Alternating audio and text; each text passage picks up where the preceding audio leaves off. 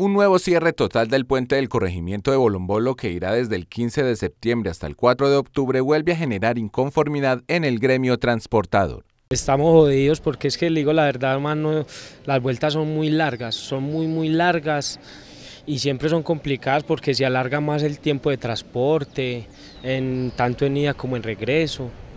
Esto va a implicar para el usuario un poco más de demora en la llegada a la ciudad de Medellín, debido a que nos toca dar la vuelta por eh, La Pintada, por eh, Puente Iglesias y es un poco más demorado, unos 30, 40 minutos más de tiempo nos lleva esto. La Concepción Vial del Pacífico ha manifestado que la suspensión de la movilidad por este importante corredor vial se hará para realizar reparaciones sobre la sección del tablero del puente, una intervención que no es definitiva y terminará afectando a la población del suroeste, principalmente a los cafeteros. Por ese puente tienen que pasar nuestros recolectores. Es este no era el momento para hacer esta intervención.